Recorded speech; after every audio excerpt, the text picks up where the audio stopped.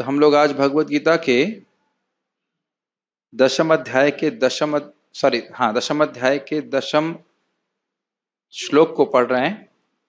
ये श्लोक बहुत महत्वपूर्ण है, क्योंकि और बहुत रहस्यमय है। भगवान की प्राप्ति स्वयं भगवान कैसे कराते हैं, यह श्लोक से हम सीखेंगे। और इतना सुंदर बात है ये, क्योंकि इसमें कोई भौतिक ज्ञान की आवश्यकता नहीं है कि कोई ज्ञानी व्यक्ति होगा तभी वह भगवत प्राप्ति कर सकता है। तो आप लोग मेरे पीछे बोलिएगा माइक पे, आज कॉर्डलेस नहीं चालू कर रहा है? आप बोल सकते हैं? मेरे पीछे बोलिए। तेषां सततयुक्तानां तेषां सततयुक्तानां भजतां प्रीतिपूर्वकम् भजतां प्रीतिपूर्वकं ददामि बुद्धियोगं तं ददामि बुद्धियोगं तं येन मामुपयान्ति ते येन मामुपयान्ति ते तेषां सततयुक्तानां तेषां सततयुक्तानां भजतां प्रीतिपूर्वकम्। भजतां प्रीतिपूर्वकं ददामि बुद्धियोगं तं ददामि बुद्धियोगं तं येन मामुपयान्ति ते। येन मामुपयान्ति ते। इससे पिछले वाले श्लोक में सीखा गया मच्चित्त मदगत प्राण बोधयंत परस्परम कथयंत माम नित्य तुष्यंति च, रमंति च। शुद्ध भक्तों का वर्णन किस प्रकार से हुआ? वह हमेशा भगवान की सेवा में लगे रहते हैं, हमेशा भगवान की कथा में लगे रहते हैं और उनका चित्त भगवान में लगा रहता है और मदगत प्राण मतलब भगवान के बिना वह रह नहीं सकते। अब यह तो उनकी तरफ़ से कार्य था। अब भगवान क्या करते हैं, ये श्लोक में आप देख रहे हैं। जब कोई इस प्रकार से वज़न करता है तो भगवान क्या करते हैं? कहते हैं, देखिए तेषाम सतत युक्ता नाम, जो इस प्रकार से सतत युक्त हैं। युक्त मतलब भगवत सेवा में नियोजित हैं। भजताम ड्यूटी पूर्वकम मेरी किताब में तो ड्यूटी लिखा है। ठीक है। भजताम प्रीति पूर्वकम अब आप कहेंगे प्रो जी, प्रीति नहीं है तो कम से कम ड्यूटी पूर्वकम लेकिन भय पूर्वकम नहीं। ठीक है, अगर वहाँ से भी शुरू कर सकते हैं। देखिए, चार प्रकार से पूर्वकम हो सकता है।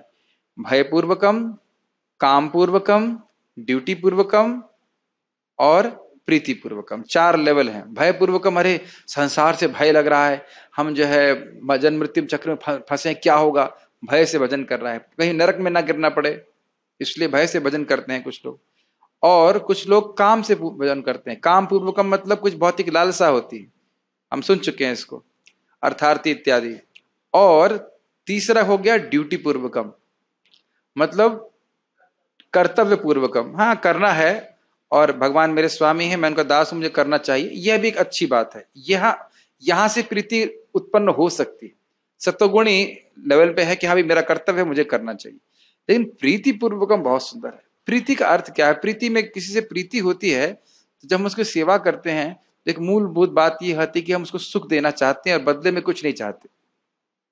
ये सच्ची प्रीति का लक्षण यस दुनिया में भी बहुत से लोग दूसरों को सुख देना चाहते हैं, इसमें कोई संदेह नहीं है। लेकिन वह उनको सुख नहीं देना चाहते वस्तुतः अपना कुछ लाभ चाहते हैं, इस कारण से सुख देना चाहते हैं।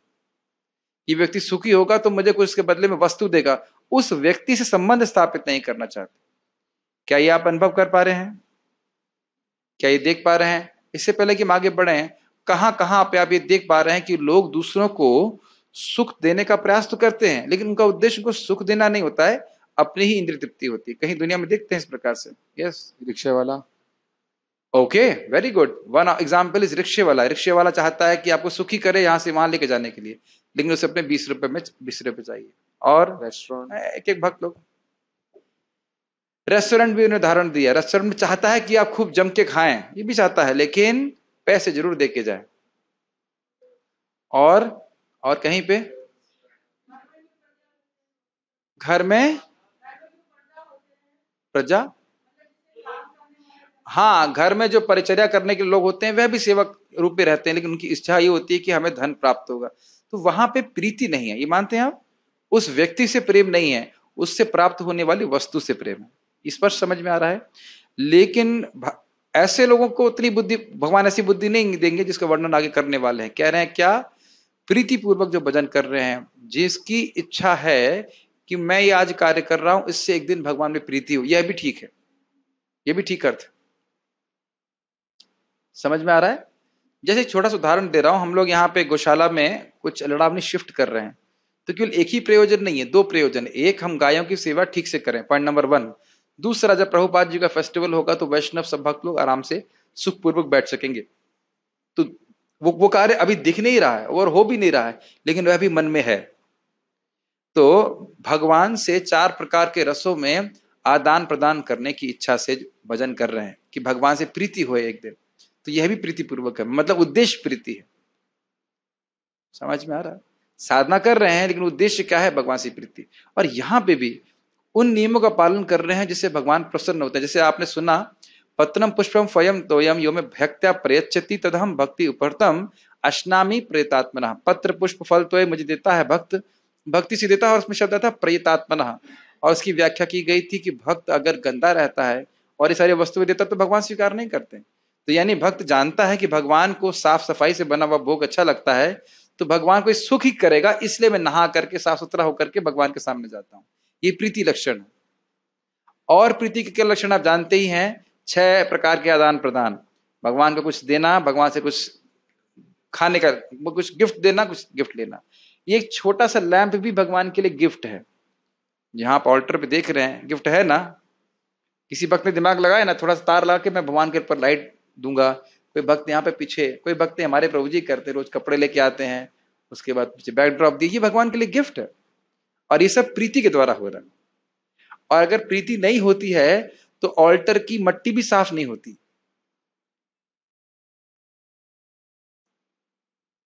नहीं तो प्लास्टिक के फूल चढ़ा देते हैं। उसमें हो सकता है थोड़ा सेंट मारने में भगवान खुशबू आती रहे, लेकिन यह उद्देश्य नहीं है। ठीक है? तो प्रीतिपूर्वक आप समझ रहे हैं। और भगवान रोज सुंदर सुंदर भोग पदार्थ देना, ये नहीं कि मिर्ची झोंक दें और मतलब बने तो बने, या फिर, अब ये कुक्स के लिए थोड़ा हैवी हो सकता है। अरे, नमक कम होगा तो कोई बात नहीं, बाद में जब लोग खाएँगे तो डाल लेंगे। क्या ये उचित भावना है? बुरा क्षमा मत मांगूँगा, लेकिन कुक को भी ध्यान रखना चाहिए कि नमक एकदम सटीक यथा संभव सटीक होना चाहिए। यह भावना ठीक नहीं है कि हम बाद में खाएँगे तो नमक डालेंगे। तो खाना किसके लिए बना रहा है? हाँ आया तो फिर भगवान को अलग से नमक दे दीजिए। यह भी एक तरीका है। भगवान अपने आप ही मिला के खा ले, वह भी समीचीन बात है।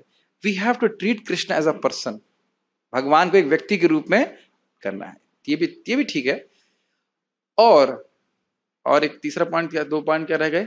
कथयन गुह्यम आख्यति पृछति तो भगवान की कथा को सुनना तो ये भगवान प्रीति है। जैसे भगवान यहाँ पे बता रहे थे दशम अध्याय में वक्षामी हित कामया, तुम्हारी हित कामना से मैं कुछ बोल रहा हूँ। तो अपने हृदय को भगवान व्यक्त कर रहे हैं आप। तो भगवत गीता को सुनना ये भगवान से गुह्यम आख्याति पृछति तो इस प्रकार से भगवान से आदान प्रदान करते हैं। क्या इसमें केवल भगवान से ही प्रीति पूर्वक आदान प्रदान होना है या वैष्णव से भी होना है? यस हम भगवान से प्रीति उत्पन्न नहीं कर सकते जब तक भक्तों से इस प्रकार का आदान प्रदान नहीं। ठीक है? तो इसका अर्थ यह भी है कि प्रीति पूर्वक मतलब मेरे, मेरे भक्तों की सेवा।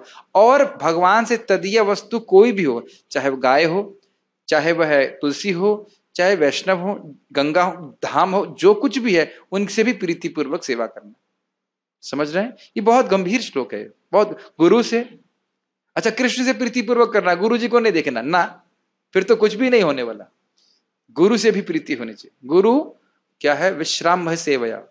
बड़े साख्य भाव से, साख्य भाव मतलब बड़ी आत्मीयता के भाव से गुरु की सेवा करना। तो इस प्रकार से ये प्रीति जो है, ये केवल भगवान पे घटित नहीं होगा, भगवान और भगवान से संबंधित सभी वस्तुओं पे घटित होगा। घटित समझते हैं? लागू होगा। अप्लाई हो अगर मैं ऐसा करूँगा तो क्या करेंगे भगवान? कह रहे हैं, ददामी बुद्धि योगम तम। संस्कृत पढ़े हैं तो वह बताइए कि ददामी का अर्थ क्या होता है? दूँगा। दूँगा नहीं मैं देता हूँ। ऐसा नहीं कि भविष्य में दूँगा इसी समय देना चालू कर देंगे। हाँ, तो ये संस्कृत टीचर है हमारे पास। संस्कृत पढ़ने का फ़ायदा होता है मैकेनिकल इंजीनियरिंग पढ़ने का फ़ायदा शायद इतना नहीं है। तो आप देख सकते हैं ददामी का अर्थ है, मैं देता हूँ। मैं मतलब भगवान कृष्ण स्वयं देते हैं। क्या देते हैं? बुद्धि योगम तम। ऐसी दिव्य बुद्धि देते हैं, जिसके द्वारा ये ना मामुपयांति वह मेरे पास आ जाते हैं। अब देखिए, इसमें श्लोक में रहस्यमय बात क्या है? रहस्यमय बात यह है कि आपको संस्कृत आना ज़रूरी नहीं है। आपको प्रीति आना ज़रूरी संस्कृत अच्छी बात है, लेकिन अगर संस्कृत नहीं भी आती प्रीति पूर्वक जो कोई भी भजन करेगा, यहाँ पे क्या है, ये ना तेषाम जो कोई भी भगवान का प्रीति पूर्वक भजन करेगा कृष्ण को सुख देने के लिए सेवा करेगा, अनन्य भाव से तो उसको भगवान ऐसी बुद्धि देंगे। और वस्तुतः अगर आप देखें, उसको अगर ऐसी बुद्धि प्राप्त है तो मतलब भगवान की कृपा ही है। और ये बुद्धि प्राप्त कैसे होती है? प्रमाणिक गुरु के आश्रय लेके। जब हम गुरु का और वैष्णव का आश्रय लेते हैं, श्रवण करते हैं, तब हमको समझ में आता है कि हमारे भजन भगवान के प्रति कैसा होना चाहिए। और जब इस प्रकार से सुनते हैं, करते हैं तो फिर भगवान हमको और बुद्धि देते हैं। शुरुआत की श्रद्धा भगवान दे रहे हैं कि ये साधु सही बोल रहा है। अब उसके अनुसार जब करते हैं तो भगवान फिर हृदय में और बुद्धि देते हैं। समझ में आ रहा है? अभी समझ में आ जाएगा आपको हम जब अनुवाद पढ़ते हैं। श्लोक तो समझ में आ गया ना? ठीक है। जो मतलब कोई वैसे किसी को बोलो, भाई, आपको आश्रम में रहना है या रूम में रहना है तो आपको मंगल आरती आना पड़ेगा। तो क्या यह भजन प्रीति पूर्वक हुआ? ये सब नहीं हुआ। हाँ सुकृत बन जाएगी उसकी कुछ, लेकिन यह कोई तरीका नहीं है। और प्रीति के लिए किसी को बाध्य नहीं कर सकते। मोहित प्रभु को मैं बाध्य कर सकता हूँ, उससे प्रेम करें। इट इज़ वर्क इट कितने पैसे दूँगा कि आप मुझसे प्रेम करने लग जाएँगे पहले आप पूछेंगे कितने पैसे हैं आपके पास? अगर पैसे दे करके भगवान को हमारा प्रेम खरीदना होता तो भगवान ने कब कब खरीद लिया होता? बहुत पहले खरीद लिया तो सारे पैसे तो उनके ही पास हैं। लेकिन पैसे दे करके हम धन नहीं खरीद सकते। जो प्रेम पूर्वक मेरी सेवा करने में निरंतर लगे रहते हैं, उन्हें मैं ज्ञान प्रदान करता हूँ, जिसके द्वारा वे मुझ तक आ सकते हैं। मुझ तक मतलब कहाँ तक पहुँचेंगे हम लोग? वो लोग तक पहुंचाएँगे तो इसलिए बहुत सुंदर बात है, बहुत सुंदर बात है। सचिनंदन महाराज बता रहे थे मंदिर में राधा श्याम सुंदर के पास ऑल्टर के बाहर वो मुझे मिले, मैं उनको मिला, कह लीजिए। मैंने महाराज को प्रणाम किया, मैंने कहा, महाराज, आपके प्रवचन बहुत अच्छा लगा। फिर महाराज मुझको लेकर के ऐसे पीछे से एमबीटी ऑफ़िस से लेकर एमबीटी तक गए और रहते होंगे वो। और एक बात उन्होंने बहुत अच्छी बोली कि आपको याद रखना चाहिए कि आप कृष्ण के दास हैं। और कृष्ण आपकी हर संभव, हर यथासंभव, जो कुछ भी है, आपकी मदद करेंगे। भक्ति में मुझे कैसे प्रगति करनी है? हर समय भगवान मेरी मदद करते रहेंगे कहीं ना कहीं से मदद भेजते रहेंगे, किसी वैष्णव के द्वारा, किसी भक्त और किसी न किसी माध्यम से, अगर मेरी प्रगति करने की इच्छा है। ठीक है? भगवान व्यवस्था करेंगे कि हम कैसे प्रगति करें, जैसे यहाँ पे हम देख रहे हैं। हमको भजन जो है बिना, क्या कैसे अल्टीरियर मोटिवेशन क्या कहा जाता है? गुप्त उद्देश्य या कोई अन्य इतर उद्देश्य नहीं होना चाहिए, केवल यही कि भगवान में प्रीति हो, इस प्रकार की भावना होनी चाहिए। गीता भूषण टीका। अब बहुत सुंदर प्रश्न उठाया गया है। कह रहे हैं, परंतु यह कैसे संभव हो पाता है कि गुरु के उपदेश से ही वे आपके अनंत स्वरूपों, गुणों और विभूतियों को ग्रहण कर पाते हैं? क्या रहस्य है? देखिए, पहली बात तो ये भी मैं समझा रहा था आप लोगों को कि भगवान की भक्ति कैसे करनी है हम अपनी बुद्धि से निर्णय नहीं कर सकते। ये क्लियर है? कैसे निर्णय कर सकते हैं? सदगुरु सदगुरु मतलब प्रमाणिक गुरु। सदगुरु, मैं किसी का नाम नहीं ले रहा। उनको प्रमोट नहीं कर रहा हूँ। मैं बोल रहा हूँ, प्रमाणिक वैष्णव गुरु का आश्रय लेकर वे बताते हैं कि कैसे भक्ति करो। मैं उदाहरण दूँगा। एक बार हमारे प्रचार केंद्र में हम गए तो वहाँ देखा एक भक्त जो है फूलों पे तुलसी चढ़ा करके फिर उनको अर्पित कर रहा जैसे हम लोग भोग अर्पित करते हैं। ऐसे भोग अर्पित नहीं किया जाता सॉरी ऐसे फूल अर्पित नहीं किया जाता। माला भगवान को पहनाई जाती है। आप ऐसे नहीं अर्पित कर सकते जैसे कि आप दूध का भोग लगा रहे हैं। तो ये छोटी छोटी बातें सिखाई जानी चाहिए। समझ रहे हैं? एक भक्त कुछ, ऐसे बहुत सारी गलतियाँ करते हैं, बाएँ हाथ से भगवान को नहीं देना चाहिए। तो छोटी छोटी बातें, प्रोटोकॉल नहीं होता है, वो मतलब भगवान को क्या अच्छा लगता है, क्या नहीं लगता है वो एक बद्धात्मा को नहीं पता, वो इमेजिन नहीं कर सकता। इसीलिए प्रमाणिक गुरु के शरण में जाकर के, शरण का मतलब उनका आश्रय लेके मैं कैसे भगवान का भजन करूँ, ये पूछना चाहिए। इसे कहते हैं सदधर्म पृच्छ। क्या कहते हैं? सद धर्म पृच्छ। आदो गुरु पादाश्रय, सद्धर्म पृच्छ। ये दो शुरुआत के अंग हैं जिसका अनुशीलन हमें करना चाहिए। एक, प्रमाणिक गुरु का, वैष्णव का आश्रय लें और उनसे पूछें कि मैं भक्ति कैसे करूँ ठीक से। समझ रहे नहीं तो स्वाभाविक सी भावना हो जाती है कि काम खत्म करना है। काम खत्म करने वाली को भक्ति नहीं कहा जाता। सुख कृष्ण को सुख देने की इच्छा को भक्ति कहते हैं। कृष्णानुशीलनम, कृष्ण को सुख देना है। यस ठीक है। अब यहाँ प्रश्न आ रहा है कि गुरु के उपदेश सुन लिया तो वह आपकी अनंत स्वरूप और विभूतियों को कैसे समझ लेगा? ये प्रश्न उठा रहे हैं। तो इस पर भगवान यह श्लोक कह रहे हैं। जो भक्त मेरे नित्य योग की इच्छा रखते हैं, नित्य योग की इच्छा रखते हैं, अर्थात दास्य, साख्य, वात्सल्य और माधुर चार में से किसी एक रस में, चारों में नहीं हो सकता है। और इन चारों में से किसी एक में भगवान से अपने संबंध को जागृत करना चाहते हैं। यस और जो मेरे यथात्मय ज्ञान से उत्पन्न रुचि से भर कर मेरा भजन करते हैं, इसका अर्थ क्या है? जब गुरु के मुख से, शास्त्र से वह भगवान की महिमा को सुनते हैं तो स्वाभाविक भगवान का प्रीति पूर्वक भजन होता है। समझ में आई बात? जब भगवान का स्वभाव समझते हैं, भगवान कितने अच्छे हैं तो स्वाभाविक रूप से उनमें प्रीति होती है कि मैं कृष्ण का भजन पैसे के लिए क्यों करूँ? मैं कृष्ण का भजन उनको सुख देने के लिए क्यों ना करूँ? क्या ये बातें समझ में आ रही हैं? यस और ये सुनने के द्वारा होता है। तो सुनने के द्वारा भगवान में इस प्रकार का आकर्षण होता है कि काश मेरा भी इसी प्रकार से भगवान से प्रेमय संबंध हो। जैसे छोटा सा उदाहरण।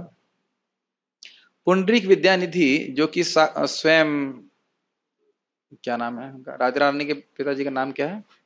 विश्वभानु विश्वभानु जी के अवतार हैं। एक बार जगन्नाथपुरी गए और उन्होंने देखा कि जगन्नाथ जी को माड़ लगा हुआ कपड़ा पहनाया गया और माड़ लगा हुआ कपड़ा अपवित्र माना जाता है। तो उन्हें स्वरूप दामोदर जी से कहा माड़ मतलब जो चाप कड़ा कड़ा कपड़ा होता है ना माड़ कहते हैं। तो माड़ तो उन्होंने कहा कि भाई माड़ लगा हुआ कपड़ा जगन्नाथ जी को क्यों लगाया हुआ है? तो उन्होंने कहा कि जगन्नाथ जी ब्रह्म है पर ब्रह्म है वह तो कभी अपवित्र नहीं होते। अच्छा अच्छा अच्छा अच्छा तो, तो भगवान तो पर ब्रह्म है तो उनके सेवक भी ब्रह्म है। क्योंकि उस प्रसाद को वह ग्रहण करते हैं। राजा भी ग्रहण कर रहा है, सर पे बाँध रहा है। ऐसे बस खाली मज़ाक करते रहे, मज़ाक करके लौट आए और रात में जगन्नाथ जी आकर उनको, जगन्नाथ जी, बलराम जी आए और घूसा मारना चालू किया, थप्पड़ मारना चालू करे। कहे, तुम्हें क्या अधिकार है मेरे सेवकों का कुछ भी बोलने का? अभी देखिए, ये प्रीति दोनों के प्रति है। पुंडरीक विद्यानिधि के प्रति भी प्रीति है और अपने जगन्नाथ जी के, अपने सेवकों के भी प्रति प्रीति है। तो आप कहेंगे, अरे तो बड़ा दर्द हुआ होगा, बलराम जी मार होंगे। लेकिन वो हंस, बहुत प्रसन्न हुए पुंडरीक विद्यानिधि और उनका गाल वाकई सूझ गया। सपने में मारे थे, लेकिन वाकई सूझ गया कि पंद्रह दिन तक बाहर नहीं आए वो। लेकिन इस प्रकार का प्रेम वह बर्ताव भगवान करते हैं अपने भक्तों से तो हम भी सोचते हैं कि हमारे भी सपने में कोई भगवान आया। वो अलग बात है कि थप्पड़ नहीं मारे, लेकिन जो कुछ भी है। लेकिन प्रीति होती है ना। जैसे रघुनंदन ठाकुर के लड्डू खा लिए थे उन्हें। चतन चतामित में सुनते हैं। कि लड्डू दिए, उनके पिताजी ने बोला कि बेटा, मैं आज थोड़ा व्यस्त हूँ। उनका पिता का नाम था मुकुंद दत्त, मुकुंद दास। और मैंने कहा, बेटा, मैं बाहर जा रहा हूँ, आप जरा भोग लगा देना। तो कहा, ठीक है, भोग लगा दूँगा। भोग लगाने गए तो कृष्ण खा ही नहीं रहे थे तो कृष्ण रोने लग गए। सॉरी, रघुनंदन ठाकुर रोने लग गए, कहते हैं, अरे, आप खा क्यों नहीं रहे, खा क्यों नहीं रहे? तो फिर डीटी ने एक लड्डू खा लिया।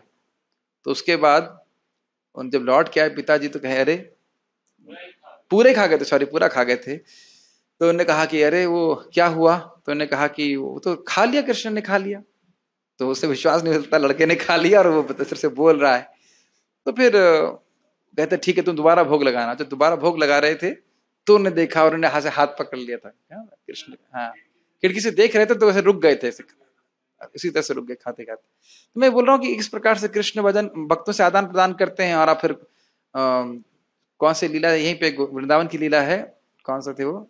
कौन सी गोपाल थे वो? साक्षी गोपाल जी। तो वो अपने भक्त के लिए, भक्तों से बोलता, चलो आप साक्षी देने के लिए चलो। तो कहते हैं, मैं तो डीटी हूँ, मैं चल कैसे सकता हूँ? तो भक्त बोलते हैं, अरे, आप बोल सकते हैं तो आप चल भी सकते तो इस प्रकार से भगवान से प्रीति, एकदम प्रीतिपूर्वक आदान प्रदान हो रहा है भक्तों का।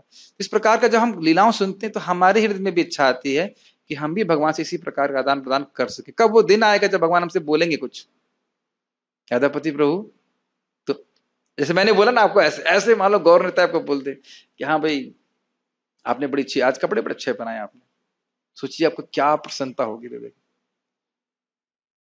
अद्भुत है, उस दिन के लिए हम लोग को प्रतीक्षा करना हो देवामृत महाराज बहुत अच्छा बोल रहे थे, कह रहे थे कि हम अब इस समय बहुत सारे कार्य करते हैं जो हमें अच्छा लगता है हम भगवान के लिए करते हैं। लेकिन एक दिन ऐसा होगा जब भगवान कहेंगे, अनुपम कृष्ण, ये करो। पता नहीं क्या नाम से बोलेंगे आपको, लेकिन ये करो। जैसे कि बोला ना आपको, लोकनाथ गोस्वामी को बोला, आप वृंदावन जाओ। रूप गोस्वामी बोला वृंदावन जाओ अब ये कार्य करो। सनातन गोस्वामी बोला, ये काम करना है, तुम ये करो। नित्यानंद प्रभु को बोला, आप जाओ, आप प्रीचिंग करो। मतलब भगवान जो चाहते हैं, वह करना। मतलब वाकई भगवान जो आपसे चाहते हैं। वैसे एक तो स्पष्ट बोला है, इस गीता के ज्ञान को जो दूसरों को देता है, वो मुझे सबसे अधिक प्रिय है। भगवत गीता के माध्यम से बोले। लेकिन एक दिन ऐसा होगा, साक्षात कुछ आपको बोलेंगे करने के लिए।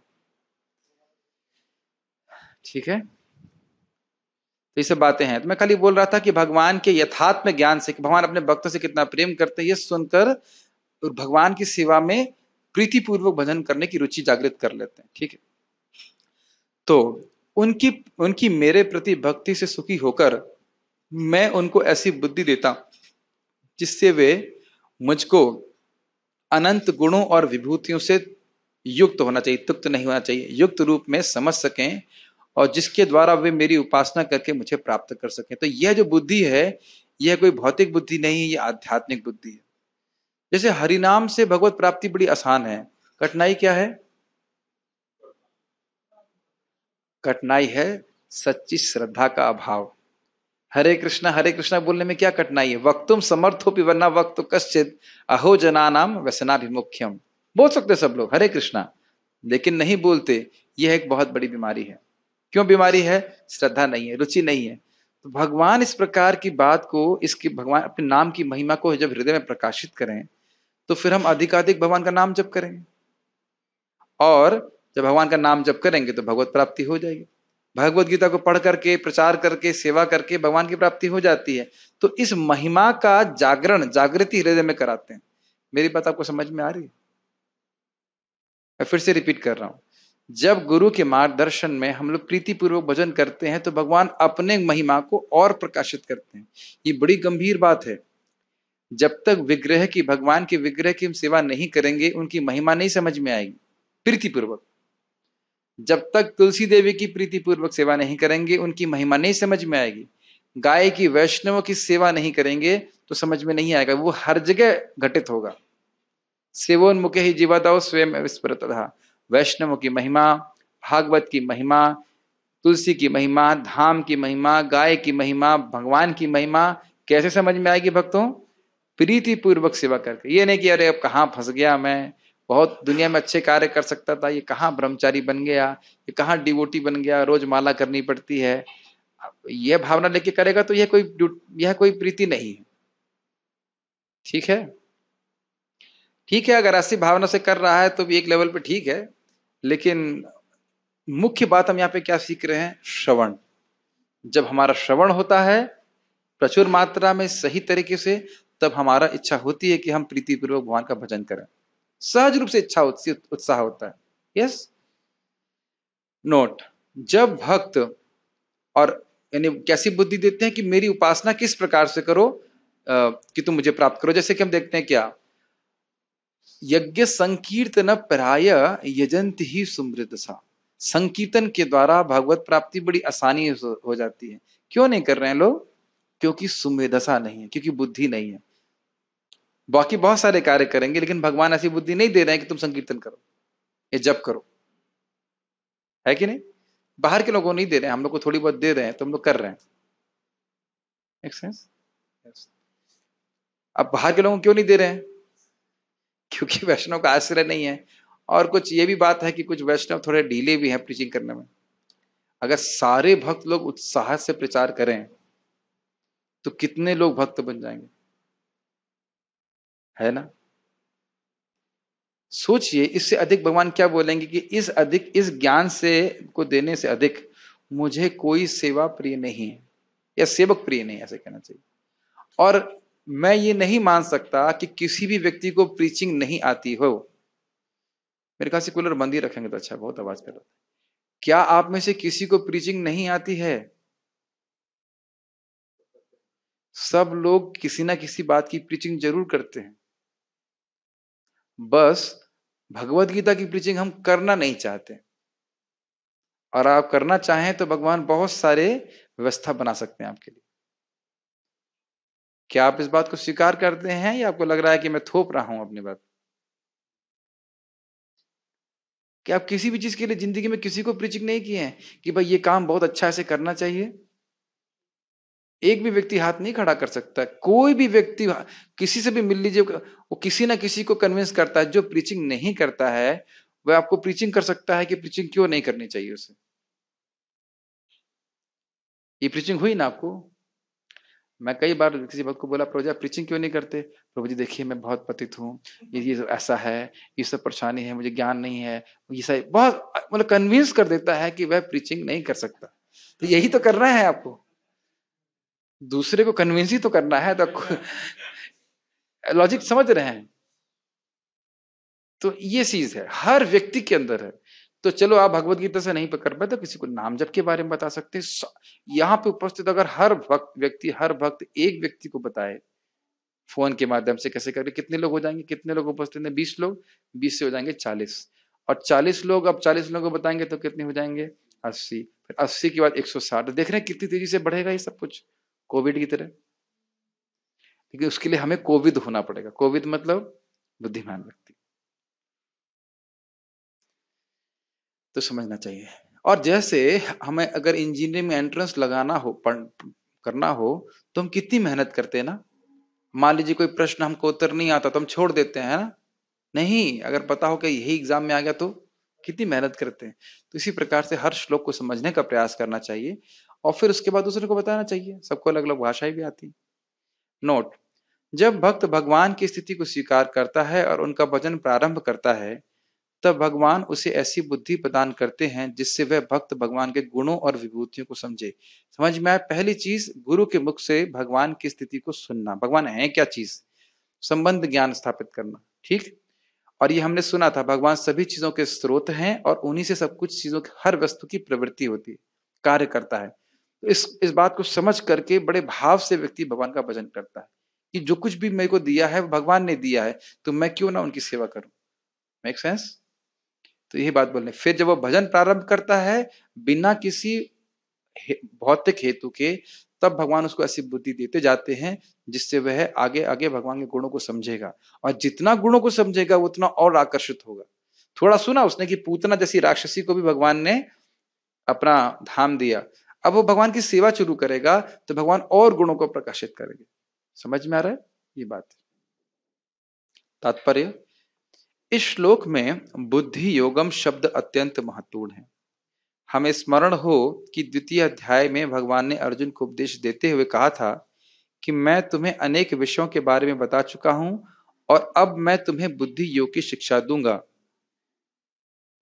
ये 2.40 के पहले वाले श्लोक है। मैं समझता हूँ 2.38 में भगवान बोलते हैं कि अब तक मैंने तुमको सांख्य योग के अनुसार शिक्षा दी, कि किस प्रकार से आत्मा को सुखाया नहीं जा सकता काटा नहीं जा सकता इत्यादि।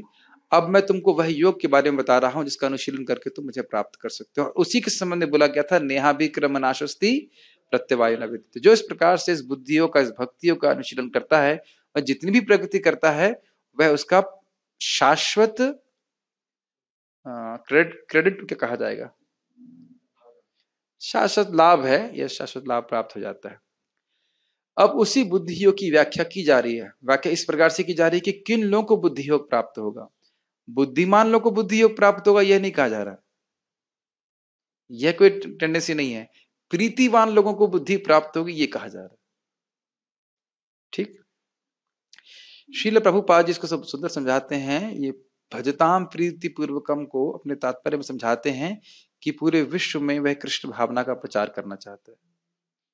मैंने एक जगह एक जगह, पाँचवें स्कंद में उत्तम लोक, उत्तम श्लोक लालसा को प्रभुपाद व्याख्या करते हैं कि उत्तम श्लोक भगवान कृष्ण को पूरे विश्व में भगवान के रूप में स्थापित करने की लालसा। ये भगवान के प्रति प्रीति है। जैसे इस जगत में अगर आप किसी को हेट को क्या कहेंगे? घृणा करते हैं, नफरत करते हैं तो लोग उसको फेसबुक पे जलील करते हैं। जलील मतलब बदनाम करने का प्रयास करते हैं। समझ में आ रहा है? इस जगत में अगर आप किसी को नफ से नफरत करते हैं, घृणा करते हैं, आपका मतलब कोई व्यक्ति, आप नहीं तो उसको प्राय वो लोग बुरी बुरी बातें लिखते हैं। लिखते हैं कि नहीं लिखते हैं? अरे तुम्हें, तुमको बुरा लगता है तो तुम्हें फेसबुक में लिखने की क्या ज़रूरत है?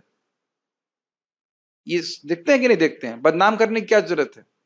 नहीं, जो नफरत है, वह नेगेटिव गुणगान के रूप में प्रकट हो रही है। मेरी पॉइंट समझ रहे हैं? अब भगवान से प्रीति है, भगवान की महिमा हृदय में समझ में आ रही है, हरि नाम की महिमा समझ में आ रही है तो सहज रूप से भक्त भगवान का कीर्ति को गाने का प्रयास करेगा। व्यतिरेक में समझ में आ रहा है ये। और भगवान से प्रीति नहीं है तो चुप, मोनी बाबा। कुछ नहीं बोलेगा। क्या समझ में आ रहा है कि ये प्रचार जो है ये प्रीति का लक्षण है? अब कभी कहते नहीं यह तो अपने को हम्म, क्या करना चाहते हैं? प्रसिद्धि चाहते हैं इसलिए प्रचार कर रहे हैं।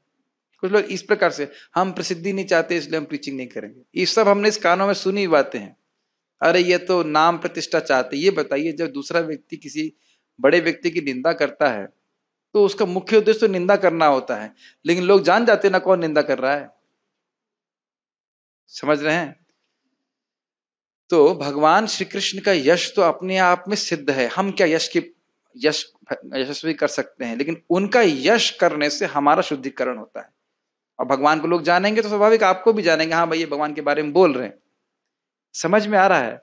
तो भगवान तो स्वयं इस बात को गीता में कहते हैं, तुम निमित्त बनो और यश प्राप्त करो।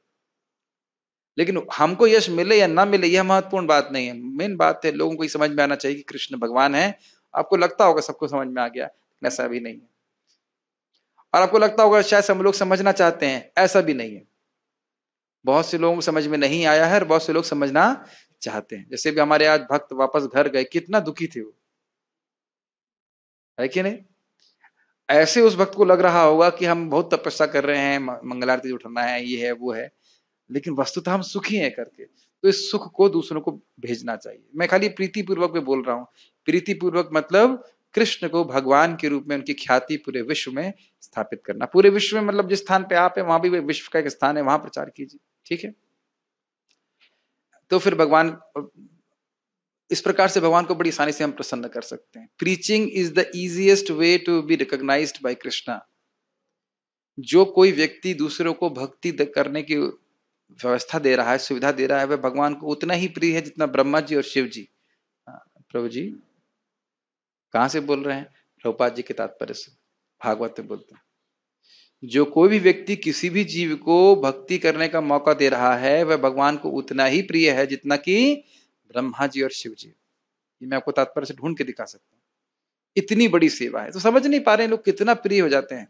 यही एक एकमात्र हमसे भगवान वापस में क्या कहेंगे उपहार चाह रहे हैं कि आप भगवान कृष्ण के बारे में प्रमाणिक लोगों से लोगों, लोगों को बताइए। भगवान सीधे बताने के लिए नहीं आते आपके पास आए थे मोहित प्रभु? भगवान आए थे, थे कि अनुपम कृष्ण प्रभु आए थे? यस। अब अनुपम कृष्ण प्रभु कहे नहीं भगवान मेरे को चिट्ठी भेजेंगे तब मैं जाऊँगा। ना चिट्ठी भेज दी है भगवत गीता के रूप में। अब उस चिट्ठी को पढ़ना है और पढ़ करके उस अनुसार कार्य करना है। ठीक है आपको भी ये करना है ना? क्या करना है?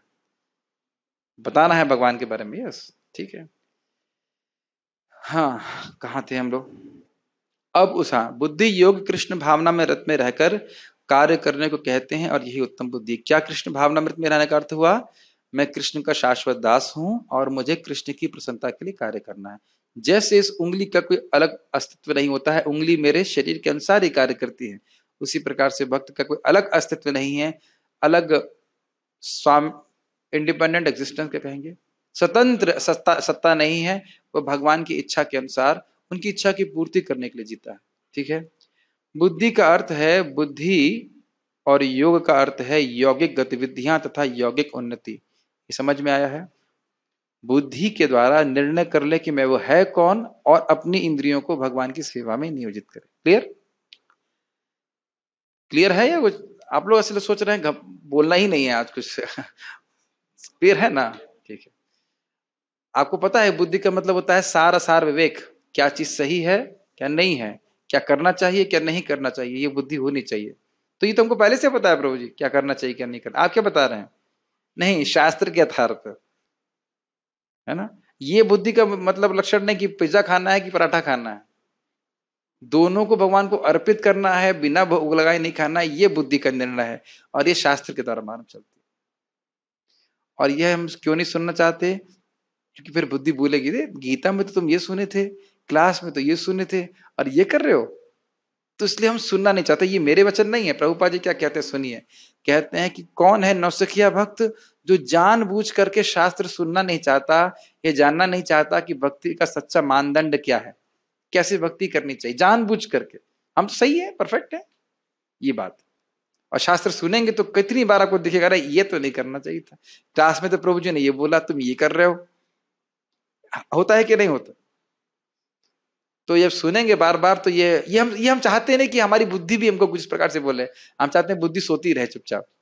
लेकिन जब सुनेंगे तो बुद्धि में ज़रूर आएगा ना ये कर रहे हो लेकिन ऐसा करना नहीं चाहिए जब कोई भगवत धाम को जाना चाहता है और भक्ति में वह कृष्ण भावनामृत को ग्रहण कर लेता है तो उसको यह कार, उसका यह कार्य बुद्धि योग कहलाते बहुत सुंदर बहुत सुंदर बात है। बुद्धि के द्वारा निर्णय कर ले कि मैं तो भगवान का अंश हूँ मुझे यहाँ रहना ही नहीं इस जगत में। और ऐसा नहीं है कि मर्डर कर लेंगे, अपना आत्महत्या कर लेंगे तो भगवत प्राप्ति हो जाएगी। ऐसा नहीं होता है। भजन किए बिना भगवान की प्राप्ति नहीं होती तो बुद्धि के द्वारा यह निर्णय कर ले और फिर भगवत धाम जाने वाली क्रियाओं को करे। इंग्लिश में प्रभात कहते हैं, Krishna consciousness is scientific execution of activities which take one self take which will take a person back home back to Godhead Krishna भावना एक वैज्ञानिक पद्धति है जिसमें हम वो क्रियाएँ करते हैं जिससे हम भगवान धाम चले जाएँ। वैज्ञानिक मतलब थ्योरी रहेगी और उसके अनुसार कार्य करेंगे तो आपको रिज़ल्ट प्राप्त होगा। और विज्ञान के लिए थ्योरी सुनना ज़रूरी है।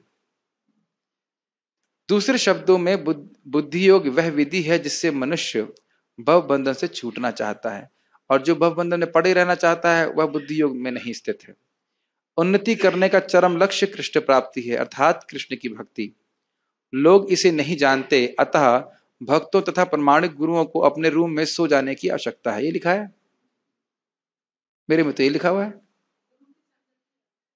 गुरु की संगति आवश्यक है। तो इसलिए आवश्यक है कि भक्त लोग परार्थ निष्ठा परार्थ निष्ठा में निष्ठ हो। कहा सुना था परार्थ निष्ठा रासलीला के अध्याय में सुन रहे थे हम जब। वैसे वहाँ पे भी है। कवि भीरी नृतम कलमशाप हम और गोपियों के पद चिन्ह पर चलने का अर्थ क्या है? पूरे विश्व में कृष्ण भावना में का, कृष्ण कथा का प्रचार करना ये प्रभुपाद जी का। गोपियाँ भी अप्रिशिएट करती है। क्या श्लोक है वो? तव कथा मृतम तप्त जीवनम कवि भीड़तम कलम शापहम। श्रवण मंगलम श्रीमदातम भूवि गृणंत ते भूरिदा जना आपकी कथा लोगों के तप्त जीवन को शुद्ध करने वाली है। ठंडा करने वाली है और जो भूरिदा जो लोग हैं, जो बहुत कृपामय लोग हैं, वह इस कथा का प्रचार करते हैं। तो गोपियाँ भी आप, आपका अप्रिशिएट कर रही है, अगर आप प्रचार करते हैं। ये मैं कोई इसमें अतिशोक्ति नहीं कह रहा। वहाँ भी है, लेकिन वैसे हमने प्रहलाद महाराज की शिक्षा में सुना था। प्रायण मुनय स्वमुक्ति काम। अपनी मुक्ति कामना में लगे रहते हैं, दूसरों को मुक्त करने में नहीं रहते, लेकिन प्रायण अर्थात नारद आदि जो भक्त हैं, वह जीवों के कल्याण में लगे रहते हैं। और इस कल्याण में हमारा स्वयं का कल्याण है। तो ये बात यहाँ बोली जा रही है कि गुरु की संगति आवश्यक है मतलब शिष्य को तो चाहिए ही, लेकिन गुरु जी को भी चाहिए, अर्थात भक्तों को भी चाहिए कि वह अपनी संगति दूसरों को दे करके उन्हें शुद्ध करें। ठीक है? मनुष्य को ज्ञात होना चाहिए कि कृष्ण ही लक्ष्य हैं, और जब लक्ष्य निर्दिष्ट है तो पथ पर मंद गति से प्रगति करने पर भी, करने पर भी अंतिम लक्ष्य प्राप्त हो जाता है। समझ में आया? ये बहुत गंभीर बात। कई बार इस बात को बोला गया है कि लोग इस जगत में पैदा होते हैं, लेकिन एक पशु की तरह। उन्हें पता ही नहीं होता कि जी क्यों रहे हैं, खा क्यों रहे हैं, सो क्यों रहे हैं, बच्चे क्यों पैदा किए, अपनी रक्षा क्यों करनी चाहिए। जैसे अभी बहुत चिंता हो रही लोगों की, लोग मर रहे हैं बीमारी से, उनको बचाना चाहिए। लेकिन उनसे पूछो कि उन्हें बचाना क्यों चाहिए? उन्हें ज़िंदा क्यों रखना चाहिए? और क्या ज़िंदा लोग ज़िंदा हैं? ये भी एक प्रश्न है, क्या ज़िंदा लोग ज़िंदा हैं? महाराज बता रहे थे कि अगर मान लीजिए किसी मुर्दे को जलाने जा रहे हैं और मुर्दा उठ करके दौड़ने लगे तो फिर क्या होगा? सब लोग भाग जाएँगे यस जो उस मुर्दे के लिए रो भी रहे थे, वह भी सब भाग जाएँगे। है कि नहीं? तो यही बात भागवत ने बोली की है, जीवन अपि मृतो हिस्सा। जो मरा हुआ है, जो जी रहा है, लेकिन वो मरा हुआ है तो वो जीता जाता भूत की तरह है, अगर वह भगवान की भक्ति नहीं कर रहा है तो। वही स्थिति हो गई कि मुर्दा जो है, वो दौड़ गया, जी गया और भाग रहा है, इधर से उधर बात कर रहा है। तो ये बात बोली जा रही है कि लोगों को पता ही नहीं है कि कितना बड़ा लक्ष्य वो प्राप्त कर सकते हैं केवल हरि भजन करके। प्रसाद खा के भगवान को देख करके, नाम जप करके, भगवत गीता पढ़ के, भगवत प्राप्ति कर सकते हैं, इन लोगों को पता ही नहीं है। मत क्या है वो श्लोक? दुराशया ये बहिर्थ नते विदु स्वार्थ गतिम ही विष्णु। दुराशया ये बहिर्थ मानिना।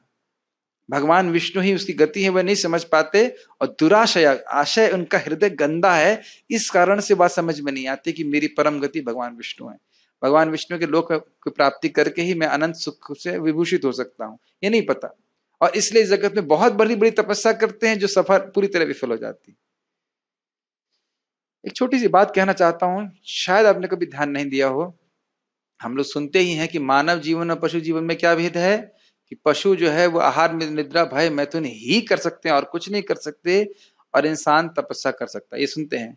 और तपस्या का मतलब है अपने कल्याण के लिए स्वेच्छा से कोई कष्ट उठाना। यहाँ तक तो, तो आप जानते हो लेकिन इससे एक और बात आगे है। और वो ये है कि तपस्या हमको उत्कृष्ट सुख दे सकती है, जो इन चार प्रकार की क्रियाओं से प्राप्त नहीं हो सकता। क्या प्रमाण है? तपोदिव्यम पुत्र न सत्वम, शुद्धे तस्मात ब्रह्म सौख्यम तो अनंतम तो अगर तपस्या करने की ट्रेनिंग प्राप्त हो रही है, तपस्या करने की सुविधा प्राप्त हो रही है तो यह हमको एक प्रिविलेज दिया जा रहा है। प्रिविलेज मतलब विशेष सुविधा दी जा रही है। अनुग्रह किया जा रहा है अगर हमको तपस्या करने के लिए बताया जा रहा है कि कैसे तपस्या करो। और कौन सी तपस्या करनी है? हरे कृष्णा हरे कृष्णा कृष्णा कृष्णा, हरे हरे हरे राम हरे राम राम राम, हरे हरे। इससे हमारा लक्ष्य क्लियर होता चला जाएगा। जितना हृदय शुद्ध होगा, समझ में आएगा कि भगवान की प्राप्ति ही मेरा जीवन का लक्ष्य है। तो ये बात बोल रहे कि जब लक्ष्य निर्दिष्ट हो जाए, यहाँ पहुँचना है तुमको। उसके बाद फिर व्यक्ति आगे प्रगति करता है। फिर प्रपात कह रहे हैं, पथ पर मंद गति से प्रगति। मंद गति मतलब ऐसा नहीं कि आज आपने 64 किया, कल आप कृष्ण आपके सामने, अरे तुमने 64 किया, मुझे तुम्हारे सामने आना ही पड़ा। आना ही पड़ेगा, तुम तो इतना भजन कर रहे हो। नहीं, नियमित भजन करते रहना है। जब भगवान की इच्छा होगी, तब भगवान हमारे सामने प्रकट होंगे। और प्रगति भी धीरे धीरे ही होती है। ऐसा नहीं कि आज आज हम हरे कृष्ण करें प्रभु जी, ये भौतिक इच्छा कहाँ से आ रही है? या, मेरा मन लग नहीं रहा है नाम जप में। तुम कब ऐसे समझिए, बेटा, तुम कब से नाम जप में लगे हो? जो तुम्हारा मन नाम जप में लगने लग जाए। ये मैंने कभी इस तरह से पुट नहीं किया but I am putting in this way आप कब से नाम जप में लगे हैं जो आपका जब मन भगवान के नाम में लगने लग जाए? थोड़े से समय से तो लगे हैं तो कैसे मन तुरंत लगने लग जाएगा? लेकिन इंद्रियाँ लगी हैं, ये भी बहुत बड़ा लाभ है। तो ये हमको सुविधा दी जा रही है, ये एक कृपा की जा रही है कि हमको बताया जा रहा है कि तपस्या कैसे करनी। और वह भी शास्त्र के आधार पर, ठीक है? जब मनुष्य लक्ष्य को जानता हाँ जब मनुष्य लक्ष्य तो जानता है, किंतु कर्म फल में लिप्त रहता है तो वह कर्म योगी होता है। अर्थात उसकी कुछ भौतिक कामनाएँ रहती स्वर्ग इत्यादि प्राप्त करने के लिए। यह जानते हुए कि लक्ष्य कृष्ण है, जब कोई कृष्ण को समझने के लिए मानसिक चिंतन का सहारा लेता है तो वह ज्ञान योग में लीन रहता है। मतलब कहने का क्या है? कहने करती है कि वह शुद्ध भक्ति का आश्रय नहीं लेता। उसमें कुछ कर्म योग का मिश्रण करता है, कहीं कुछ ज्ञान योग का अनुशीलन करता है, इस प्रकार से। किंतु जब वह लक्ष्य को जानकर कृष्ण भावनामृत तथा भक्ति में कृष्ण की खोज करता है तो वह भक्ति योगी या बुद्धि योगी होता है और यही पूर्ण योग है। इसका मतलब क्या है? कृष्ण और कृष्ण की भक्ति मेरे जीवन का लक्ष्य है, साध्य है, और इसको प्राप्त करने का एकमात्र साधन क्या है? भगवान कृष्ण की भक्ति। साधन है भक्ति और साध्य है भगवत भक्ति। ये ये कन्विंस हो गया और किसी चीज़ का आश्चर्य नहीं ले रहा है तो फिर वह भक्ति योग्य हो गया। यह पूर्ण योग ही जीवन की सिद्धावस्था है। जब व्यक्ति प्रामाणिक गुरु के होते हुए तथा आध्यात्मिक संघ से संबंध रह, रहकर भी प्रगति नहीं कर पाता क्योंकि वह बुद्धिमान नहीं है तो कृष्ण उसके अंतर से उपदेश देते हैं जिससे वह सरलता से उन तक पहुँच सके। अब कई बार लोग इसका इस इस खंड का उदाहरण देते हुए कहते हैं कि हमें शास्त्र पढ़ने की ज़रूरत ही नहीं। ऐसा नहीं है। लेकिन अगर कोई व्यक्ति बहुत बुद्धिमान नहीं है मतलब कुछ भी समझ में नहीं आता क्या बोला जा रहा है, फिर भी इतना समझ में आ गया कि भगवान का प्रीतिपूर्वक भजन, इतनी समझ में आ गई बात। बहुत ज़्यादा अध्यात्म वेदना हो तो भगवान स्वयं उसके हृदय से अज्ञान को नष्ट करेंगे। उसको हम अगले श्लोकों में देखेंगे, आज नहीं, कल। यानी कि भगवान, बहुत सुंदर बात प्रभुपात कहते हैं, ध्यानपूर्वक सुने कहते हैं कि भक्त अगर पापों से बचे तो भगवान स्वयं ही क्रमशः उसकी भक्ति में आने वाले अवरोधों को हटा देंगे। लाइन याद हुई? पहली लाइन क्या थी? भगवान का भक्त अगर पापों से बचे तो भगवान स्वयं क्रमशः मतलब धीरे धीरे भक्ति में आने वाली सारे अवरोधों को स्वयं ही हटा देंगे। क्या क्या फॉर्म इसके तीन भाग हैं। एक पहला भाग यह है, पापों से बचे। दूसरा भाग क्या समझना है? क्रमशः ये नहीं कल ही हटा देंगे। और तीसरा क्या है? भगवान स्वयं। तो इस प्रकार से सूत्र लेकर के सुन, हमको भक्ति करनी चाहिए। यानी कि सोलह माला जब कर रहे हैं, चार नियमों का पालन कर रहे हैं तो फिर हम भगवान की कृपा से धीरे धीरे सारे भक्ति के अवरोध समाप्त हो जाएँगे। धैर्य से भक्ति करते रहना चाहिए। यस एक भक्त हैं, मैं उनको जानता हूँ, जिनके लिए आठ माला करना भी भारी था। और अब मंगल आरती जाना थोड़ा भारी लगता है, लेकिन पहुँच जाते हैं। और सोलह माला भारी करना भारी लगता है, लेकिन हो जाती है। तो कुछ प्रगति हुई? एक भक्त हैं, जिनको प्रवचन में आने में बहुत कठिनाई महसूस होती थी। और मैं आज उनसे बोल रहा था, प्रभु जी, मैं कई दिनों से देख रहा हूँ कि आपका अकस्मात रूप से प्रवचन में आने का आग्रह बढ़ गया है। मुझे बड़ी प्रसन्नता हुई। तो ये दिखता है कि कहीं ना कहीं उस भक्त के हृदय में कोई अवरोध था जिसको भगवान ने हटा दिया। भगवत गीता तो अच्छी चीज़ है। लेकिन मैंने देखा, मेरे प्रवचन से हो नहीं रहा था। मैंने खूब उसको डांटा भी, मैंने बोला भी। आ जाते थे, लेकिन मन नहीं लगता था ऐसा। अब मैं देख रहा हूँ कि उनका आग्रह है सुनने का प्रवचन। तो अब देख रहे हैं कि भक्ति करते रहें तो कुछ अवरोध रहेगा, वो हटा देते हैं। कृष्ण कथा में रुचि हो रही है मतलब भगवान अपनी तरफ़ खींच रहे हैं आपको। ये समझ लीजिए। और रुचि कब होगी? ये समझ में आएगा? भाई, हर बार आमा करके बैठे में कुछ समझ ही नहीं है, क्या बोल रहे हैं? हिंदी तो लग रहा है, लेकिन कुछ समझ में नहीं आ रहा क्या बोल रहे तो उतना उतना नहीं रुचि लगती है, लेकिन अगर समझ में भी आने लग जाए कि क्या बातें बोल रहे हैं तो फिर हमें अच्छा लगता है आने में, है कि नहीं? तो जो अच्छा लग रहा है, ये किसकी वजह से लग रहा है? भगवान की कृपा है, ये बात समझना चाहिए, ठीक है? इसके लिए, और फिर उस भक्त ने खुद ही बोला मुझे कि प्रभु जी, मैं समझ रहा हूँ कि, उनको बहुत, मुझे बहुत अच्छा लगा। उन्होंने बोला कि मैं समझ रहा हूँ कि अपराध करने से क्या होता है। बहुत अच्छा लगा। मतलब वो जिस दूसरे भक्त का संग करते थे, वह थोड़ा ठीक से नहीं थे भक्ति में। तो कहते कि गलत संग करने से क्या होता है, मुझे समझ में आ रहा है। मुझे बहुत प्रसन्नता हुई। अपने अहित को खुद समझ रहा है व्यक्ति। बहुत अच्छा लगा मेरे को।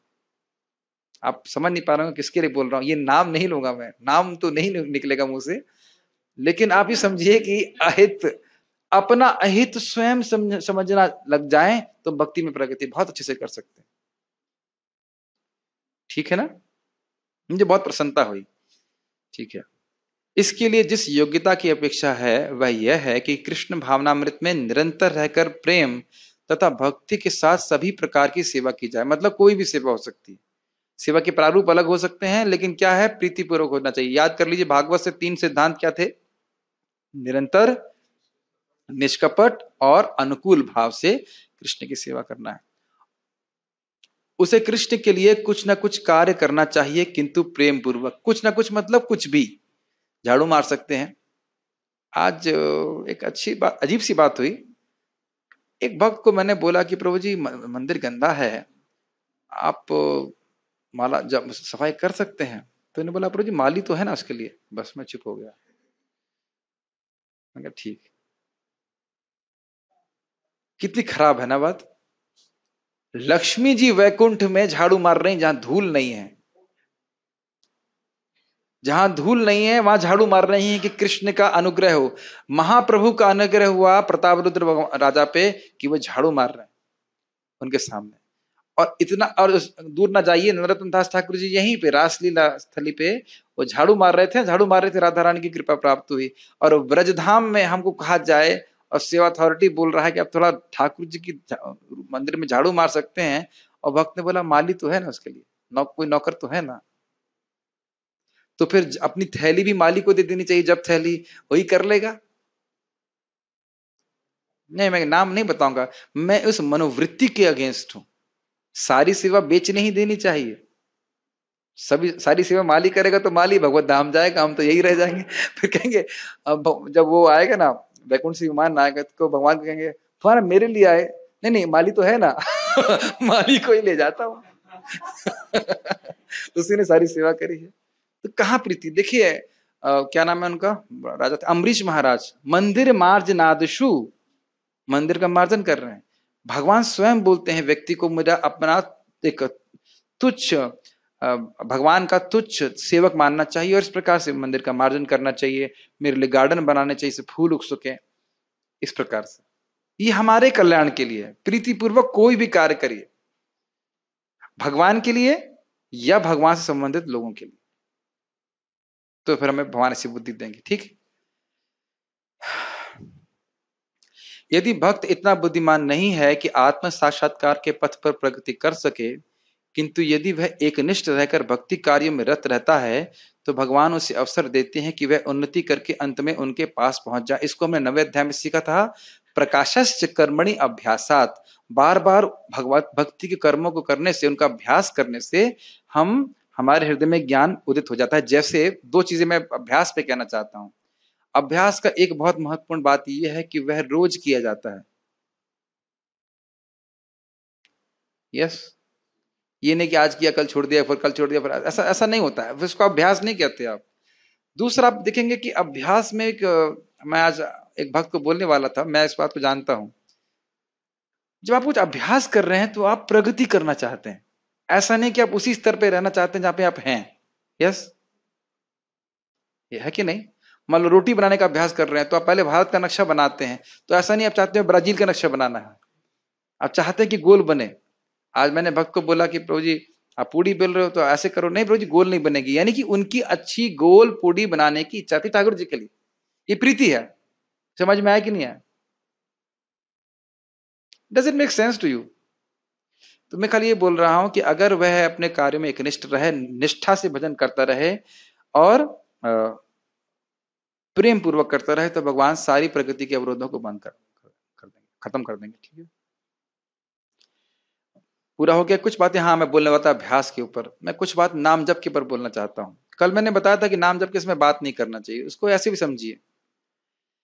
देखिए जब कोई व्यक्ति बॉडी बिल्डिंग करता है तो उसको एक सूत्र बताया जाता है हमारे बीच में है जिनको अनुभव है आप मुझे बताइएगा। एक जमाने में मेरे को भी शौक था तो मेरे को जो सीनियर बॉडी बिल्डर थे, उन्होंने बोला था कि बेटा तुम जो एक्सरसाइज कर रहे हो ना, उसमें गैप मत देना। अगर तुम 40 मिनट एक्सरसाइज कर रहे हो तो नॉन स्टॉप 40 मिनट एक्सरसाइज करो। ऐसा होता है क्या तो माइक माइक वहाँ तक पहुंचेगा नहीं। वैसे ये होता है कि नहीं होता? बोलते हैं ना कि अगर आप मतलब तुमने पंद्रह मिनट किया, फिर छोड़ दिया, फिर पंद्रह मिनट फिर दो मिनट फिर चाय वाय पिया, उसके बाद फिर पंद्रह मिनट किया तो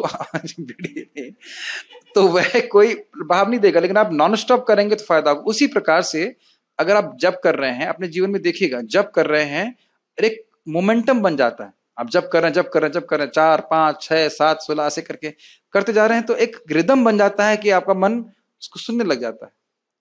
अगर आप अच्छे से करने का प्रयास कर रहे हैं तो मैं खाली बोल रहा हूँ, चाहे ये नाम जब भी अगर आप ले लें तो मैं और कैसे प्रगति कर सकता हूँ इस नाम जब? मैं कैसे अपनी सेवाओं को इम्प्रूव कर सकता हूँ? यह भी प्रीति का लक्षण। महाराज समझा रहे थे, कोई मृदंग बजा रहा है तो सीखना चाहिए, और अच्छा कैसे बजा सकता हूँ? खाना बना रहा है, और कैसे अच्छा बना सकता है? ये नहीं सोचना चाहिए, अरे मैं तो परफेक्ट हो गया। ऐसा कभी भी there is no limit to perfect no limit to perfection एक व्यक्ति ने अपने व्हाट्सएप में डाल के रखा था। अच्छी बात थी। There is no limit to perfection और उसको भक्त ने बताया there is no limit there is no upper limit of purity and there is no lower limit of humility बहुत सुंदर बात बोल रहे थे। तो हम खाली आज इस बात पर चर्चा चर्चा किए कि जो भक्त लगातार प्रीति पूर्वक भगवान की भक्ति करते हैं, भगवान, गुरु से सुन करके सीखते हैं कैसे भक्ति करनी चाहिए तो भगवान स्वयं उनको ये बुद्धि देते हैं, जिसके द्वारा वह समझ सकें कि भगवान की प्राप्ति हमें कैसे करना चाहिए। एक और इम्पोर्टेंट बात है कि एक एक उसका उदाहरण दे रहा हूँ। सार्वभौम भट्टाचार्य महान शास्त्रज्ञ हैं, लेकिन श्रीमन चैतन्य महाप्रभु ने जिनकी नम्रता को देखा तब भगवान के नाम की महिमा उनके हृदय में स्फुरित कराई कि नाम कितना शक्तिशाली है। केवल लॉजिक से आप नहीं समझ सकते। समझ रहे मेरी बात? तो जब हम सेवा करते हैं तो भगवान इसकी महिमा को प्रकाशित करते हैं। और महिमा प्रकाशित करते हैं तो और सेवा की इच्छा होती है। फिर क्या करते हैं? और प्रकाशित करते हैं कि महिमा का कोई लिमिट नहीं। हाँ मैं एक बात बोलना भूल गया था। मैं ये बोलना चाहता हूँ इसी संबंध में, नाम के संबंध में। हरिनाम प्रपात कहते हैं, सूर्य की तरह हृदय में उदित होता है। आप जब कर रहे हैं, जब करते करते जाइए करते जाइए। और धीरे धीरे जैसे सूर्य उदित उदित होता रहता है और उदित हो रहा है, हल्की रोशनी हुई रोशनी हुई रोशनी हुई, हल्की रोशनी हुई, छान! पूरा प्रकाश हो गया, पूरा अंधकार नष्ट हो गया। है ना? लोग देखते हैं ना आप सूर्य को थोड़ा उग रहा है, थोड़ा उग रहा है, अंधकार अंधकार अंधकार अंधकार पूरा अंधकार नष्ट हो जाता उसी प्रकार से भगवान सूर्य के समान हमारे हृदय में बढ़ते चले जाते हैं। नाम अब एक दिन हमारा पूरे अंधकार को नष्ट कर देंगे। लेकिन हमको प्रतीक्षा करनी होगी। हम यह तो नहीं कह सकते साढ़े पाँच बजे, भाई, बहुत हो गया, जल्दी जल्दी उठो। वो भाई अपनी गति से ही उगेंगे हमको निष्ठा भाव से भगवान की सेवा करते रहना चाहिए। कोई प्रश्न है किसी का तो मैं ले सकता हूँ। एनी क्वेश्चन प्रभु जी, भगवान जब किसी पे अपना कृपा करते हैं तो किसी पे बहुत जल्दी, किसी पे काफ़ी लेट क्यों करते हैं? जैसे एग्जांपल में पूतना पे किस हम्म, बहुत अच्छा प्रश्न है। लेकिन फिर तुरंत कर दिए लेकिन कोई कहाँ से वृंदावन आ रहा है और Yes, किस yes. हालत में आ रहा है और काफ़ी स्ट्रगल कर रहा है वो हाँ ये एक अच्छा प्रश्न है कि जो बहुत अच्छा प्रश्न है। ये प्रश्न मुझसे किसी और भक्त ने भी किया था। और यही यही प्रश्न मुझ एक भक्त ने मेरे गुरु महाराज से किया था तो मैं उसी उत्तर को देने वाला हूँ। कभी कभी हम देखते हैं कि कभी कभी का प्राय देखते हैं जब भगवान कृष्ण यहाँ पे आते हैं तो तुरंत मुक्ति दे दिया किसी को किसी को सबको जिसको मारा सब कुछ दे दिया जल्दी। और हम देख रहे हैं यहाँ हमको बहुत साल हमको साधना करनी पड़ी है। कितने समय, कितने साल से कर रहे हैं आप? एक साल नहीं हुआ अभी? एक महीना तो बहुत लंबा समय हो गया। कृष्ण बड़े निष्ठुर हैं, आपको दर्शन ही नहीं दे रहे। ठीक है। लेकिन, ये तो खैर विनोद की बात है, लेकिन देखिए, जब भगवान यहाँ पे स्वयं आते हैं तो वह पूरी तरह स्वतंत्र होकर कार्य करते हैं। जैसे वो चाहे करना, चाहे कर सकते हैं। लेकिन सामान्यतः व्यक्ति को साधना करनी पड़ती है, तब भगवान की प्राप्ति होती है। तो जब भगवान आते हैं यहाँ पे तो आप उन पे कुछ मतलब कोई रूल स्थापित नहीं कर सकते कि भगवान ऐसे ही करेंगे। समझ रहे चतुर महाप्रभु आए, उन्हें बस देखा और कृष्ण प्रेम दे दिया। ना श्रद्धा, ना साधु संग, ना कुछ, सीधे और नॉन स्टॉप और यहाँ तक कि उस व्यक्ति को इतना शक्तिशाली बना दिया कि उसको देख करके दूसरे व्यक्ति को कृष्ण प्रेम प्राप्त हो गया। कितना आसान था ना सब कुछ। कोई कोई मैनेजमेंट कोई स्ट्रेटेजी की ज़रूरत नहीं। लेकिन हम लोग को साधना करने की ज़रूरत है। ठीक है? तो जब भगवान अप्रकट हो जाते हैं अपने धाम में वापस चले जाते हैं तो भक्तों को साधना करनी पड़ती है। ठीक है? अब क्या करेंगे? या तो आप वेट कीजिए भगवान ब्रह्मा जी के अगले दिन में आए तब तक तो पहले उससे पहले परफेक्ट हो जाएँगे है कि नहीं? यस ऐसे भी सुना है कि और और ये देखिए कि बहुत लंबा समय नहीं है। अपनी आयु को ब्रह्मा जी के एक दिन से डिवाइड कर सकते हैं आप। और क्या फिगर आएगा, क्या नंबर आएगा? परमायु से नहीं कर रहा हूँ, एक दिन से। तो अगर मान अच्छा दस जन्म मतलब एक हज़ार मान लीजिए साल हो गए, सौ साल जीते हैं तो सौ गुणा दस, एक हज़ार साल। तो उसको डिवाइड करें, कितना फिगर आएगा? याद नहीं आ रहा। अच्छा चलो, एक हज़ार जन्म, एक हज़ार जन्म, सौ सौ बोल दिया ना आप। दस हज़ार जन्म गुणा सौ डिवाइडेड बाय ब्रह्मा जी का दिन, तब भी फिगर याद नहीं कर पाएँगे। और इतना समय नहीं लगने वाला। महाप्रभु की कृपा है, प्रभुपाद जी की कृपा है। एक जन्म में भी अगर भक्ति करें, प्रभुपाद ने बोला, सोलह माला का जप, चार नियमों का पालन, वैष्णव प्राप्त से बचो, भगवत प्राप्ति। करके देखिए। इतना भी कहाँ कर पा रहे हैं लोग? आज मैं सोच रहा था इसके ऊपर। कितने कम लोग ऐसे हैं, इस्कॉन में भी, जिनने पूरा जीवन भक्ति कर पाए। कितने मतलब कर ही पाए, केवल इतनी बात कर रहा हूँ। अच्छा बुरा छोड़ दीजिए। केवल पैतालीस पचास साल पूरा टिक पाए हो कितने कम लोग हैं? ये टेस्ट मैच है, ये वनडे मैच नहीं है। समझ रहे ना? टेस्ट मैच में बड़ा धैर्यता से भजन टिक टुक टुक, एक एक सिंगल सिंगल रन भी लेते रहिए। सोलह माल, सोलह माला भी रोज पचास साल करके तो दिखाइए पहले पहले करिए तो सही, फिर उसके बाद देखिए क्या होता है। मेरे को कौन से पचास साल हुए हैं?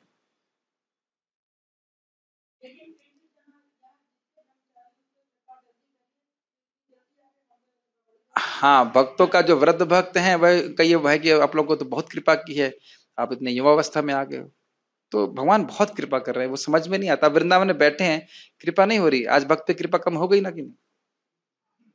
अकस्मात आ गए विमान, लेके चला गया, ठीक है ना? ऐसे ही अकस्मात एक दिन वैकुंठ से विमान आएगा, तब कह रहे प्रभु जी, आप तो सही कह रहे थे, मुझे दो चार लोग को साथ में लेके जाना था। हाँ ठीक है? और कोई किसी का प्रश्न है? समझ रहे तो भगवान जब यहाँ पे नहीं आते तो साधना करनी होती। है यस प्रभु मुझे ऐसा भी सुना था कि जो भी भगवान की लीला में जितने भी लोग आए हाँ। उनकी पहले बहुत कई जन्मों की सुकृति थी हाँ न न न क्या? न न न थोड़ा सा अंडरस्टैंडिंग ठीक नहीं है। देखिए जो भगवान की लीला में आए ये नहीं कह सकते कि सब लोग साधना करके आए। भगवान की लीला में उनके नित्य परिकर भी आते। हैं कुछ देवता भी आते हैं और जो आप बोल वह भी ठीक है। बहुत से लोग साधना करके आते हैं। महाप्रभु को आप जानते होंगे महाप्रभु की लीला जिसमें वह एक एक ब्राह्मण का खाना चुराते हैं। कई बार अब उस लीला को मैं नहीं सुना रहा हूँ तो जब बाद में प्रकाशित करते हैं, अरे भाई, एक, चलिए सुना देता शॉर्ट में तो समझ में आएगा ये बात। जगन्नाथ, क्या नाम, जगन्नाथ मिश्र के घर में एक ब्राह्मण आते हैं, बड़े तेजस्वी ब्राह्मण। और उनका गोपाल की ड्यूटी होता है। तो उनको कहते हैं, आप आए, बड़ा अच्छा हुआ, आप ऐसा करिए मतलब भोग, वो भोग स्वीकार के तो मैंने, मैं अपने हाथ से बना के खाता हूँ। तो उन्हें बनाया और फिर ध्यान करने लगे तो बालक निमाय आया और खाने खाने लगे कहता अरे अरे हाय हाय इसने सारा भोग नष्ट कर दिया। अरे फिर बच्चों को लेके चले गए बच्चों को मतलब सुला दिया ऐसे करके। सुलाया नहीं पुचकारने लगे अगर तुम क्या कर दिया क्या कर दिया? तो निमाई कहती वो मुझे बुला रहा था इसलिए मैं जा रहा था। वो समझ में नहीं आ लोगों को क्या बोल रहे हैं। फिर उसने खाना बनाया जगन्नाथ मिश्र जी ने माफ़ी मांगी। फिर खाना बनाया फिर ध्यान करने बैठ गए। फिर निमा, बालक निमाय आए खा गए। फिर कहता हाय हाय। फिर कहता अरे लगता है मेरे भाग्य में नहीं है। फिर कहते, नहीं नहीं, आप फिर से बनाइए। चार बार बनाया था कि तीन बार बनाया था? नहीं, चार बार बनाया था मुझसे चार बार। फिर तीसरी बार बनाया तो फिर क्या कहते हैं, फिर निमा के खा गए और उनको जगन्नाथ मिश्र मारने के लिए दौड़े। अरे, नहीं नहीं, बच्चों को मारी बच्चा क्या जानता है? लगता है मेरे भाग्य में आज खाना है ही नहीं। फिर विश्वरूप, बड़े विश्वरूप उनके भाई थे, बड़े सौम्य स्वभाव की, बड़ा सुंदर, शीतल स्वभाव, उनने उनको प्रार्थना किया फिर से बार बनाइए, हम निमाई को शांत रखेंगे। तो अब जब बनाते बनाते रात हो गई, रात के बारह बजे जब भोग लगा रहे थे, निमाई का मतलब गोपाल का ध्यान कर रहे थे, गोपाल का भोग लग रहा है, फिर निमाई आ गया और खाने लग गए तो कहले, हाय हाय, क्या हो गया? तो कहते हैं, क्या कर रहे हो? हमेशा तो आप मुझे बुलाते हो खाने के लिए, क्या मुझे आप समझ नहीं पा रहे हो कि मैं वही आपका गोपाल हूँ? फिर भगवान अपना स्वरूप दिखाते हैं। और फिर उसको कहते हैं कि तुमने कई जन्म बिताए इस प्रेम को प्राप्त करने के लिए। आज तुम्हें अपने प्रेम की सिद्धि प्राप्त हो गई है, लेकिन तुम किसी को बताना मत ये बात, इस प्रकार से। तो अब पता चल गया मतलब वो तो हम जब अब 500 साल बाद जब भगवान महाप्रभु चले गए तब मालूम चल रहा है। लेकिन कहने का अर्थ ये है कि कहने का अर्थ ये है कि उस ब्राह्मण ने कई जन्मों तक साधना करी थी तो इस प्रकार भगवान का दर्शन प्राप्त हुआ। ठीक है? और कोई प्रश्न है? यस पिताम्बर को। माइक दीजिए उनको। सो उत्साह, एक और सिंपल सी बात है। जैसे अभी कोई हम आम का पेड़ लगा रहे हैं आम का पेड़ लगा रहे हैं तो आप पहले दिन से सोचने लग जाएँगे, इसमें फल क्यों नहीं आ रहा? ऐसा कोई भी बुद्धिमान माली नहीं होता है। उससे पहले तो आप ये देखते हो कि आपकी ज़मीन ठीक है कि नहीं। सारी उसमें से खरपतवार निकालें, अच्छे से उसमें खाद मिलाएँ तो पहले ज़मीन तैयार करनी। उसके बाद बीज पड़ता है और फिर उसके बाद पानी पड़ता है और बड़े धैर्य से धूप, पानी सब खाद वाद देते हैं। तब जानते हैं कि कम से कम कितने कि दस साल? कितना लगता होगा पाँच साल? कम से कम पाँच साल के बाद फल मिलेगा। और कहे तुरंत नहीं निकल रहा छोड़ो हम नहीं डाल रहे पानी तो कुछ भी प्राप्त नहीं कुछ भी प्राप्त नहीं होगा। तो इसी प्रकार से बड़े धैर्य के संग भक्ति करना चाहिए। श्रवण कीर्तन करेंगे तो भगवत प्राप्ति होगी कृष्ण प्रेम की प्राप्ति होगी। यस प्रभु। प्रभु जी आपने कहा कि कि जब वही पापों से बचता है तो उसको भगवान क्रमशः अब सारे विरोध हटा देते हैं। यस। yes. अगर किसी के जीवन में पापी विरोध अवरोध है तो? हाँ इसको हम पढ़ चुके हैं क्षिप्रम भवति धर्मात्मा, शाश्वत शांति निगच्छति कौंत्य प्रतिजानी ही, न में भक्त प्रणश्यति। इसमें श्रीध स्वामी क्या बोले थे? कि अगर मृत्यु तक भी उसके दुराचार नष्ट नहीं होते तो भी भक्त का विनाश नहीं होता। ध्यान दीजिएगा कि पाप और पुण्य की वजह से भक्त का जन्म नहीं होता है, वह कोई अपराध कर देता है, या भक्ति फलित हो, भक्ति फलित हो इसलिए जन्म लेगा। भक्ति का फल है भगवत प्रेम। तो भगवत प्रेम भक्त को प्राप्त हो, इसलिए वो जन्म लेगा।